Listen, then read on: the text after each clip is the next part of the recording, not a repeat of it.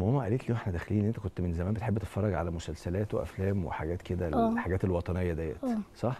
بتحبي آه. إيه؟ بتحبي تتفرج على إيه؟ أي حاجة تخص الجيش والشرطة أوكي. آه.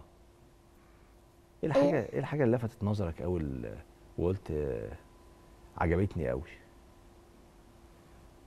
آه دلوقتي آه. أنا عي- عيطت عشان السادات آه، رئيس السادات اتقتل هو ليه جاب لكم أرضكم وقتلتوه.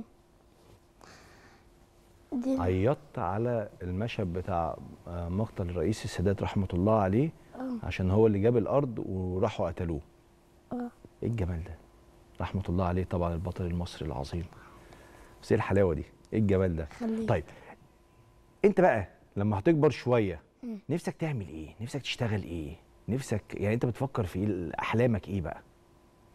أنا الصراحة بفكر إن أنا مع الجيش وأعمل لهم و... وأساعدهم في أسلحة جديدة عشان نقدر ن... عشان تبقى ال- البلد تبقى في أمان أكتر. عايز عايز تصنع أسلحة عشان آه. تبقى البلد في أمان أكتر. آه. عايز تختار يعني تبدأ تصنع أسلحة. وأعمل لهم برامج. آه. وبس. برامج آه إلكترونية. إلكترونية. إيه الحلاوة دي؟ ده أنت إحنا واضح إن أنت هنستفيد منك كتير قوي الحبة اللي جايين دول. إن وبنستفيد منك من دلوقتي أصلا إن يعني شاء الله. بنستفيد من